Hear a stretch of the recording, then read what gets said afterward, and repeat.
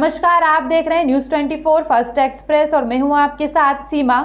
बढ़ते हैं खास खबरों की ओर। भारत निर्वाचन आयोग के निर्देश अनुसार सभी विधानसभा के पोलिंग बूथों पर, जहाँ पर मतदाता अपना वोट डालते हैं, विगत 7 नवंबर 2021 से 28 नवंबर 2021 प्रत्येक रविवार को मतदाता जागरूकता शिविर संचालित हो रहा है।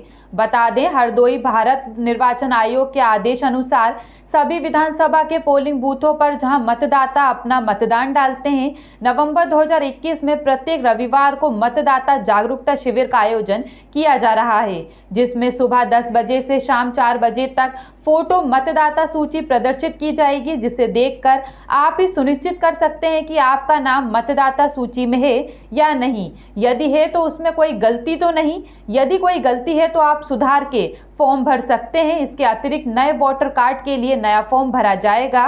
नया वोटर कार्ड बनवाने के लिए आवश्यक दस्तावेज़ हैं। आवेदक द्वारा दो रंगीन passport size photo, ration card की फोटोकॉपी या आधार कार्ड की फोटोकॉपी या जन्म तिथि प्रमाण पत्र की फोटोकॉपी।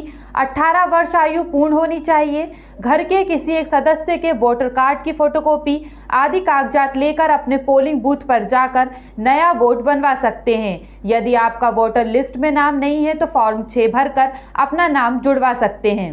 आप जब तक देख लीजिए थोड़ा सा देख लीजिए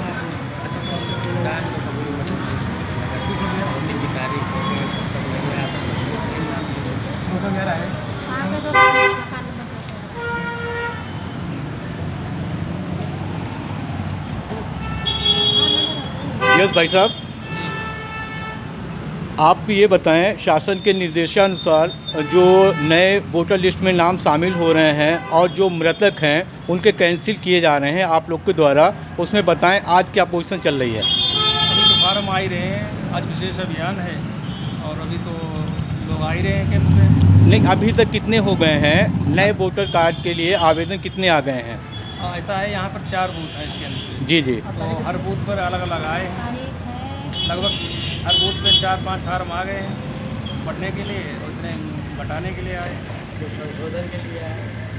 कितने आए हैं संशोधन के लिए? बताओ बाबू जी बताओ। संशोधन के लिए एक? है एक ही आया है और नए नया बनने के लिए? नए आवेदन कितने आए हैं? चार पाँच फॉर्म आ चुके हैं। चार पाँच आ चुके हैं। ओके। फ़िलहाल के लिए इतना ही। खबरों का सिलसिला लगातार जारी आप बने रहिए न्यूज़ 24 फ़र्स्ट एक्सप्रेस के साथ। नमस्कार।